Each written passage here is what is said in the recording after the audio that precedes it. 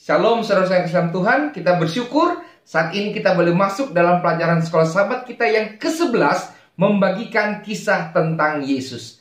Tapi sebelumnya mari kita tunduk kepala dan satu dalam doa. Tuhan Allah kami yang bertakhta dalam kerajaan surga, kami bersyukur dan berterima kasih karena kasih-Mu saja kami boleh mempelajari pelajaran sekolah sahabat kami. Berkati kami semua Tuhan, berkati para pemirsa, sehingga kami boleh membagikan kisah tentang Yesus yang kami alami dalam hidup kami. Dalam nama Yesus Kristus, kami sudah berdoa dan mengucapkan syukur. Amin. Saudara kasih Tuhan, judul pelajaran sekolah sahabat kita dalam minggu ini adalah membagikan kisah tentang Yesus. Tentu saudara-saudara, ketika kita membagikan firman Tuhan, ketika kita bersaksi, yang seharusnya kita saksikan adalah bagaimana Yesus mengubahkan hidup kita. Bagaimana Yesus menjadi juru selamat pribadi kita. Dan tidak ada orang yang akan menggugat akan hal itu. Kalau kita berbicara doktrin, kalau kita berbicara mengenai teologi, mungkin ada perdebatan. Tapi kalau kita berbicara mengenai kesaksian pribadi kita, itu adalah hak pribadi kita, bukan? Karena bagaimana Yesus mengubahkan hidup kita, itulah yang kita bagikan.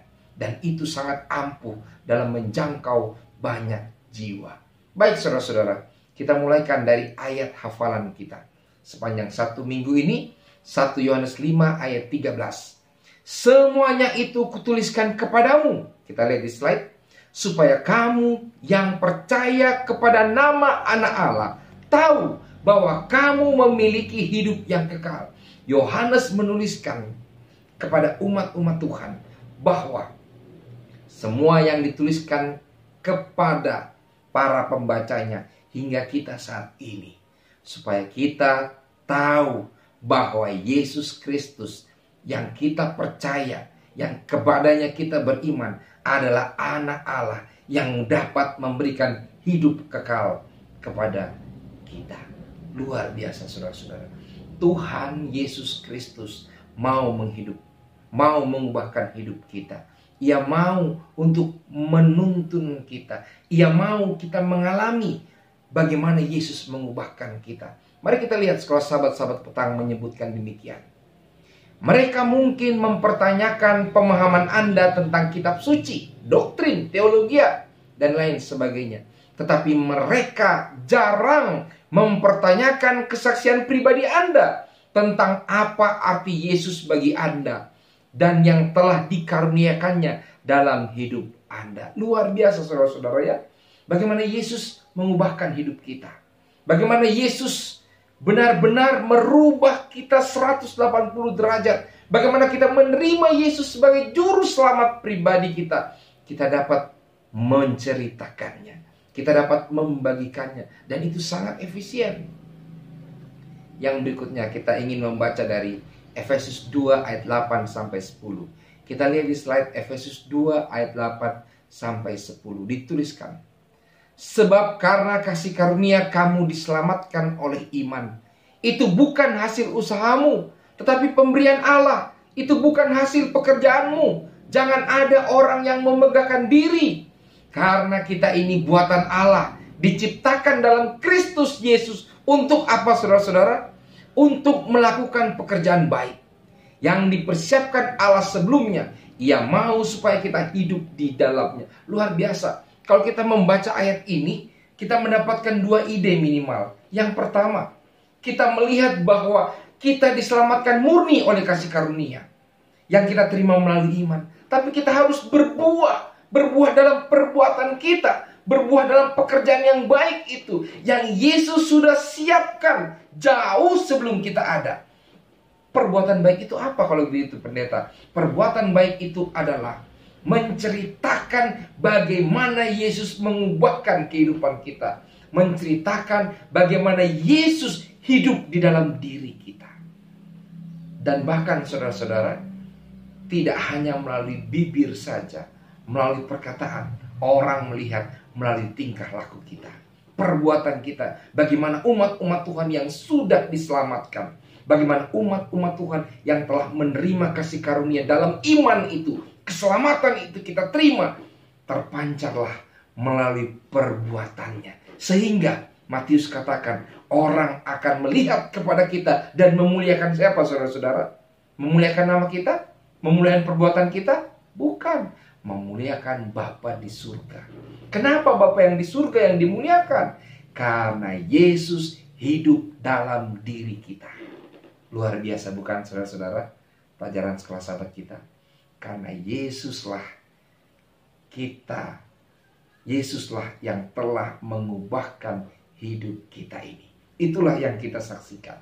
Bukan menyaksikan tentang diri kita, tetapi menyaksikan bagaimana Yesus yang luar biasa itu mengubahkan hidup kita. Selanjutnya, Alfa Omega jilid 5 halaman 16 yang ada di Sekolah Sahabat hari Senin ya. Bagaimana cara pelayanan itu dijalankan? Bagaimana kita menyampaikan itu? Tentu dengan kasih ya saudara-saudara, sudah jelas. Tapi supaya kita melihat pelajaran sekolah sahabat, mari kita baca, kita lihat di slide. Penggunaan kekerasan bertentangan dengan asas-asas pemerintahan Allah. Ia menghendaki hanya pelayanan dengan kasih. Dan kasih tidak dapat dipaksakan. Kasih tidak dapat diperoleh dengan kekerasan atau kekuasaan. Hanyalah kasih yang dapat menggugah kasih itu. Luar biasa. Kasih saja saudara-saudara. Bahkan kalau saudara ikuti renungan pagi, ada disebutkan orang tua pun tidak boleh memaksakan agama kepercayaannya kepada anaknya. Luar biasa ini kita punya renungan pagi juga. Hari ini cocok juga dengan sekolah sahabat kita. Bahwa biarlah agama kita, kepercayaan kita, kita tunjukkan dengan kasih, bukan dengan paksaan. Bahkan kepada anak-anak kita sekalipun. Tunjukkan kasih sayang kepada anak-anak kita. Sehingga agama kita itu menarik bagi anak-anak kita, bagi keluarga, bagi sahabat. Sehingga mereka boleh mengikuti apa yang Yesus ajarkan bagi kita. Yaitu keselamatan itu berasal dari Yesus. Kita terima dengan iman. Kita tunjukkan melalui perbuatan kasih. Perbuatan yang memuliakan nama Tuhan. Ya, Baik saudara-saudara, selanjutnya kita lihat sekolah sahabat hari Rabu. Pada sekolah sahabat hari Rabu, kita harus merasakan lebih dahulu jaminan keselamatan itu. Apa yang disebutkan sekolah sahabat hari Rabu? Kita lihat di slide. Jika dengan iman kita telah menerima Yesus dan dia hidup dalam hati kita melalui roh kudusnya, maka karunia kehidupan kekal adalah milik kita sekarang. Selanjutnya saudara-saudara, Sekolah Sahabat Hari Rabu menuliskan, dia ingin agar kita mengalami apa artinya dibenarkan oleh kasih karunia-Nya dan bebas dari penghukuman yang ditimbulkan oleh kesalahan dosa. Luar biasa saudara-saudara. Pelajaran sekolah sahabat kita mengingatkan kita bahwa apa yang kita ceritakan mengenai Yesus adalah berdasarkan atas pengalaman kita adalah berdasarkan atas bagaimana Yesus hidup, bagaimana Yesus mengubahkan kehidupan kita. Bagaimana Yesus hidup di dalam diri kita. Itulah yang akan kita kabarkan kepada dunia. Bercerita mengenai kisah tentang Yesus. Tentu juga cerita mengenai Yesus yang ada dalam kitab Injil, yang ada dalam Alkitab. Tapi kita juga menceritakan bagaimana Yesus mengubahkan kehidupan saya. Sama halnya dengan cerita yang terdapat dalam pelajaran hari Selasa. Cerita mengenai orang yang kerasukan, ya. Orang yang dianggap mungkin juga dianggap gila yang Yesus sadarkan. Dan ia disuruh oleh Yesus untuk tinggal di tempat itu dan menceritakan bagaimana Yesus memulihkan dia. Kita baca penggalan ayatnya Markus 5 ayat 19 sampai 20. Markus 5 ayat 19 sampai 20 kita lihat ayatnya. Yesus tidak memperkenankannya untuk ikut dengan dia. Tetapi ia berkata kepada orang itu, "Pulanglah ke rumahmu, kepada orang-orang sekampungmu, dan beritahukanlah kepada mereka segala sesuatu yang telah diperbuat oleh Tuhan atasmu, dan bagaimana ia telah mengasihani engkau." Orang itu pun pergilah dan mulai memberitakan di daerah Dekapolis segala apa yang telah diperbuat Yesus atas dirinya dan mereka semua menjadi heran. Saudara yang kasih dalam Tuhan, yang perlu kita sampaikan adalah bagaimana Yesus mengubahkan kehidupan saya. Bagaimana Yesus mengubahkan kehidupan Anda. Kita menjadi terang, kita menjadi teladan, dan kita sampaikan itu bukan dengan paksaan, bukan dengan kekerasan, tapi dengan kasih sayang. Sehingga firman Tuhan itu, agama kita, kepercayaan kita menarik karena orang melihat ada bukti nyata yang terjadi, kita diubahkan. Sebagaimana orang gila itu, dia menjadi misionaris di Dekapolis. Dia menceritakan bagaimana Tuhan Yesus Kristus mengubahkan hidupnya. Bagaimana ia sekarang rapi, ia sekarang memiliki kehidupan yang teratur. Dulunya ia amburadur, tapi sekarang dia teratur, dia duduk dengan baik, dia menceritakan kasih Yesus dan ia sendiri memiliki perangai sikap yang baik. Satu hal yang kita tidak boleh lupa dalam mengakhiri pelajaran sekolah sahabat kita hari ini adalah komitmen. Jangan lupa kita harus berkomitmen untuk menceritakan bagaimana kasih Yesus dalam hidup kita. Saya ingin mengakhiri dengan Galatia 2 ayat 19 sampai 20. Kita lihat di slide. Galatia 2 ayat 19 sampai 20. Sebab aku telah mati oleh hukum Taurat untuk hukum Taurat, supaya aku hidup untuk Allah. Aku telah disalibkan dengan Kristus, namun aku hidup. Tetapi bukan lagi aku sendiri yang hidup, melainkan Kristus yang hidup di dalam aku. Dan hidupku yang kuhidupi sekarang di dalam daging adalah hidup oleh iman dalam anak Allah yang telah mengasihi aku dan menyerahkan dirinya untuk aku. Inilah komitmen daripada Paulus. Ia menghidupkan Yesus dalam kehidupannya. Biarlah kita umat-umat Tuhan juga berkomitmen demikian. Bagaimana Yesus sudah menyentuh hidup kita. Bagaimana Yesus sudah hidup dalam hidup kita. Mari pancarkan terang kasih itu.